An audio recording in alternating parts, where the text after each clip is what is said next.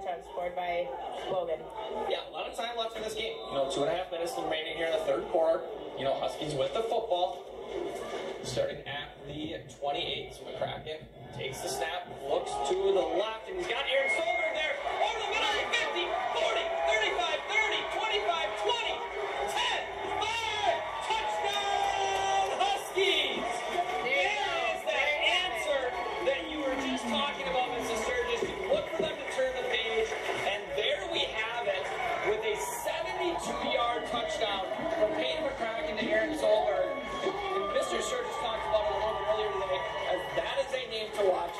A sophomore showing up on the big stage there, who, you know, nice catch over the middle, and as soon as he kind of got in that foot race, you knew there was nobody from Logan going to catch him. That was absolutely beautiful.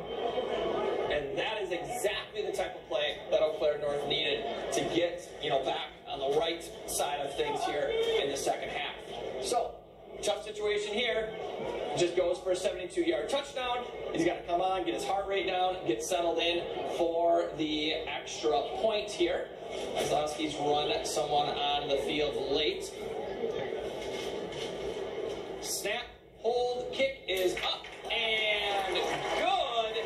And that is going to make the score 28 to 21. So in a blink of an eye there, North answers, cuts this lead in half.